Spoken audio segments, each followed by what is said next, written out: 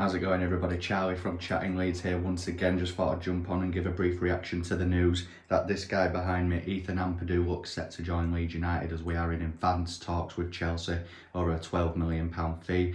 The terms are still yet to be finalised according to Phil here, but he does look like he will be our first first team signing of the summer what are your guys' thoughts? Hit me up in the comments. Are you happy? Are you sad? I'm quite happy with this signing. I will be speaking in a bit more detail on it on Bite Size Leeds tonight at 9 o'clock, so make sure that you tune in then.